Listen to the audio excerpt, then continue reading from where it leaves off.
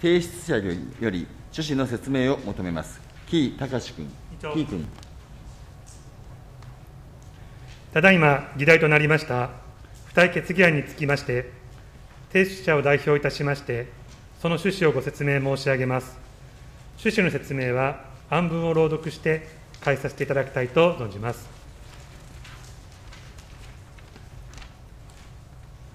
航空法等の一部を改正する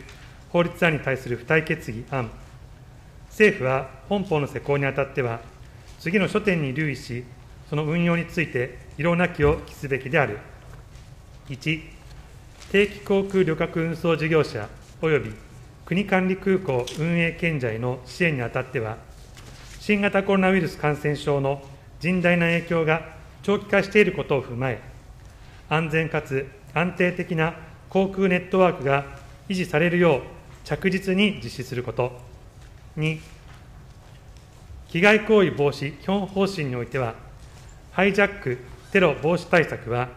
国家安全保障上、重要な対対策と位置づけ、国が責任を持って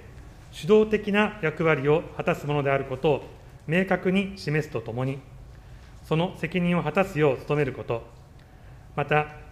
被害行為防止基本方針の策定や変更にあたっては、関係者の意見を十分に踏まえた上で検討すること、そのため、保安検査に関する有識者会議を継続し、関係者の議論の場を設定すること。3、保安検査の実施にあたっては、保安検査の確実性と旅客の利便性との両立を図るため、保安検査員の処遇の改善及び保安検査の質の高度化等の保安対策強化に必要な措置を講じること、また旅客等に対し、保安検査の受験の義務付け及び妨害行為等の場合の罰則について、十分な周知を図ること。4、保安検査における国、地方公共団体、空港会社、航空会社、保安検査会社等の役割分担の見直しについて、諸外国との比較を十分に行い、期間を定めて検討を行うこと。5、保安検査の適正な費用負担の在り方について、早期に見直しを検討すること、特に航空会社も費用を負担している現在の制度では、民間企業の経営状況で、その費用に影響が生じる可能性があることを十分に考慮し、検討を進めること。6、旅客から徴収している保安料については、その位置づけや意義を明確にした上で、旅客に対し周知を行うとともに、保安料の引き上げが必要な場合には、引き上げの意義や必要性について、旅客等に丁寧な説明を行うこと。7、無人航空機の有人地帯での補助者なしの目視外飛行については、安全性を最大限確保する必要があることから、運航管理方法にかかる許可を行うに際し、飛行の方法及び場所に応じて、生じるリスクを十分に審査した上で行うこと。8、無人航空機は、物流等への幅広い活用や、国民生活の利便性の向上に寄与することが期待されることから、技術革新等による機体の安全性や性能向上等を検証しつつ、無人航空機にかかる規制については、適宜見直しを行うこと。以上であります。何卒委員各位のご賛同をお願い申し上げます。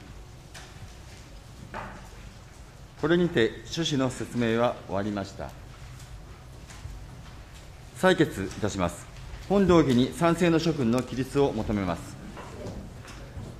起立多数、よって本動議のとおり、付帯決議をすることに決しました。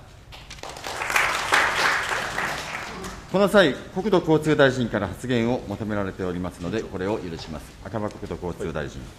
航空法等の一部を改正する法律案につきましては、本委員会におかれまして、熱心なご討議をいただき、ただいま可決されましたことに深く感謝申し上げます。今後、本法の施行にあたりましては、審議における委員各位のご意見や、ただいまの付帯決議において提起されました各事項の趣旨を十分に尊重してまいる所存でございます。ここに委員長をはじめ、理事の皆様、また委員の皆様方のご指導、ご協力に対し、深く感謝の意を表します。誠にありがとうございました。お諮りいたします。ただいま議決いたしました法律案に関する委員会報告書の作成につきましては、委員長にご一任願いたいと存じますが、ご異議ありませんか？ご異議なしと認めます。よってそのように決しました。次回は来たる19日水曜日、午前8時50分理事会、午前9時委員会を開会することとし、本日はこれにて散会いたします。どうもありがとうございました。